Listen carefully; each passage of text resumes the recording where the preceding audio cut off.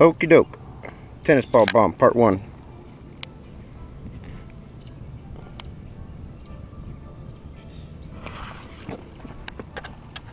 Oh, fucking shit.